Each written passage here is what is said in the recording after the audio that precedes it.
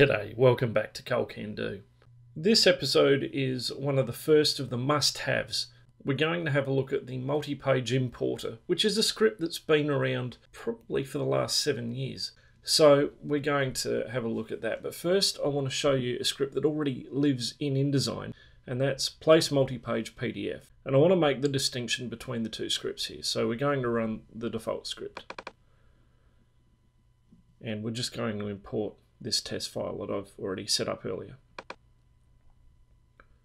So when you run this from a standing start, that is no files open, it will launch to the default file that you have. Now I'm in Australia, so I'm working with an A4 page and it's saying document. I don't really understand what's going on. Untitled 14. Oh, it's talking about this.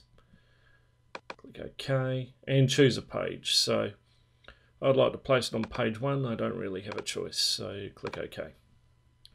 And that's going to go ahead and just place them. Now you'll notice it may be a little bit hard to see, but it's placing all the PDFs to the top left hand corner and it's doing it based on the media box. That's great if you knew what size it was coming in at and you were happy it was the media box. To me, I actually wanted this centered, so that's going to be a right nuisance, and it's also the wrong size. This document here that it was importing was a US letter document, so that's no good to me. Don't want to say that. So instead we're going to use a multi-page importer, and we're going to bring in the very same file. Now the first thing I like about it is it has a user interface. It's much more user-friendly and does a lot more. So it tells us that we can bring in all of the pages or just select a few. We can also choose to bring those pages in back to front. And if I had more than one page on my document, I could choose to start the document on a different page. In this instance, I only have one page. I also have the ability to uh, scale the document. I could choose to fit a page, or I could even scale it non-proportionally if I wanted to.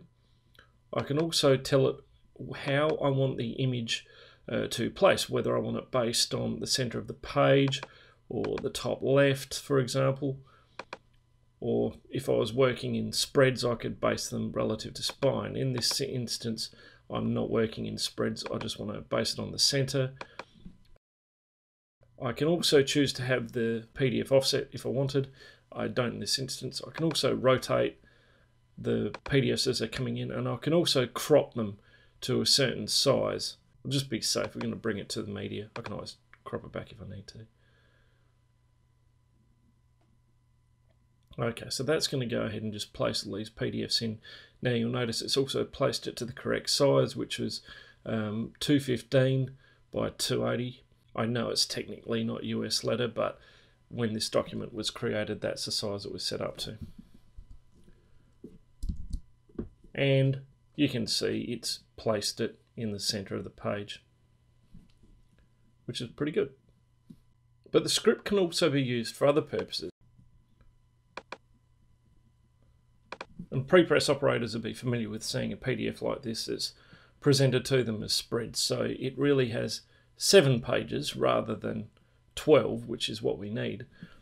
But the first page and the last page are singles and every other page is set up as spreads. Now, anyone who does this is doing their printers no favours because they have to split them into single pages for the sake of imposition. Same deal if you present your printer with a pre-baked imposition uh, where the imposition has been done manually, in this case page 1 is here, page 12 is over here, page 2 is now here, page 11 is now here. So this is a printer's pairs imposition. Again, you're doing your printer no favours. The multi-page importer does have a way of fixing this. So we're going to look at fixing the printer's pairs first. Because I know that the finished size was A4, we're going to go and just make an A4 file. Use the multi-page importer to bring our printer's pairs file in.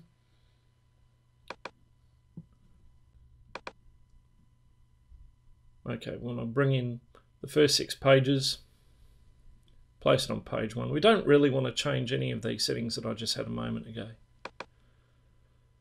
And that's just going to place it. And yes, it does not look right. That's fine. Bear with me on this. Once we've placed our PDFs in, drag another blank page. I'm going to run the script again. I'm going to place the PDF again. We're going to start placing on page 7, this blank page here. We're going to reverse the page order. Okay, so that's going to bring all that in again. And what I'm going to do is I'm going to run an additional script, uh, which is adjust layout modified. Now this is, I'll open the script now. This is another default script that ships with InDesign, but it's been slightly modified by its original creator who's now working elsewhere. The link is in the description below. And what we're going to do is we're going to shift the pages 105 millimeters, which is half of the A4 width, on the even pages and the odd pages. Okay, so if I now navigate to page one, we can still see that we've got a lot of content to the left, but if I go into my preview mode, I can see it split the pages and I can now PDF this back out and it'll be as single pages. So I'll just turn my high res preview on so you can see what's happening here. So two, page three, page four,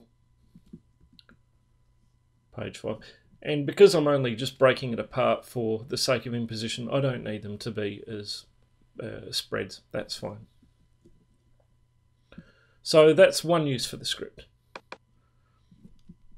The next use for the script will be to break reader spreads. So again, I'm going to run the multi-page importer. I'm going to bring in my reader spreads this time. Slightly different. What I'm going to do, I need to make sure that the correct page order is coming in. I want to place the PDFs to the top left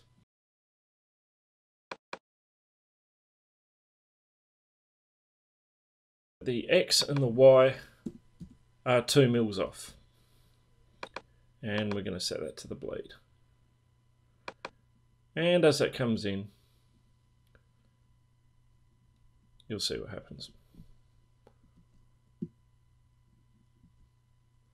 So just turn the high-res preview back on again. So one, two, four, six.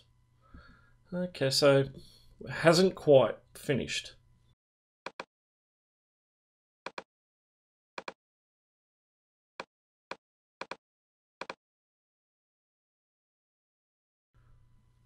So what we're now going to do is we're now going to run this script here, add blank master. Now this is a more customized script. Again, I'll put the link in the description below. But what this will do, this will add um, a blank master every second page and you can tell it what master you want. So going to go and choose the A blank master. It's just nothing on it. Go OK. And you can see it's interleaved. The A master every second page. Now I want to delete the second page and you'll see why in a moment. So now what I want to do, go to my document setup and I'll turn facing pages on. Okay, so if I go to my preview, we now have page 2 and page 3 next to each other, but I can now make single page PDFs from this. I still have a stray page 13. I can just I can just get rid of that. So we've broken uh, the reader spreads. So the next use that I have for the multi-page importer is for a cut and stack imposition. So I'm going to run this now, one of the other things that I didn't reveal at the start was that the multi-page importer can also import InDesign files.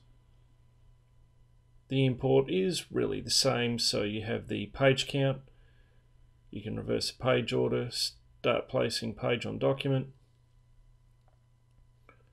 Now, in this case, we're going to place it to the top left, not going to have an offset.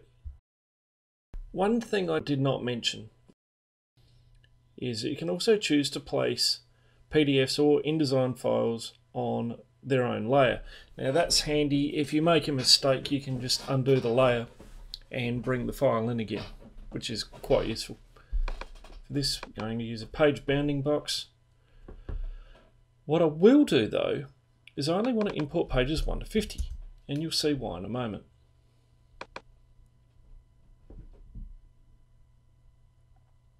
So that's just going to go and place pages 1 through 50. Now, I'm going to run that again. I'm going to bring in exactly the same file. This time, I want to align it to the top right. I want to bring in pages 51 to 100.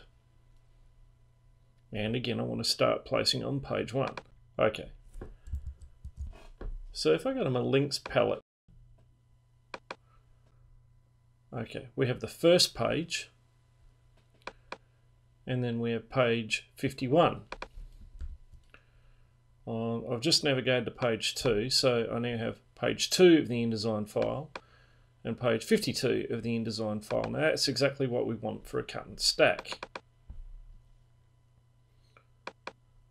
So I'm going to run that again, import the same file, we're going to import it to the bottom left, and we're going to go from 101 to 150. Again, we want to start importing from page 1. So that now brings in the records 101 through 150. And lastly, we're going to bring in our last set of 50. So 151, going to line that to the bottom right, start on page 1 again. And you'll notice it's placed them on their own little layers as well. Okay, so that's been brought in. So as we navigate down the page, we'll see that if I go to my links palette, this is in fact page 6. That's page 56. That's page 106. And that's page 156. So it's drilling down and placing the pages in a proper cut and stack, which is something that the data merge feature of InDesign can't do. Now, that's great if your artwork is single-sided. However, if you had common data on the back, what do you do? We go back to our old friend, add blank master. Now in this case, I've made a B master, which is just a solid green, which is what I want on the back of the cards. So zoom out again. See front, back, front, back, front, back, front, back, now I know this isn't ideal for all cut and stack situations, but it's another use of the multi-page importer script, which I think you'll find very useful. That's it for another video. If you got something out of this video, show me by hitting the like button and subscribe for more great videos. Check out Colecandoo or InDesign Secrets for the latest articles or tweet me at Colecandoo. Until next time, I'll see you later.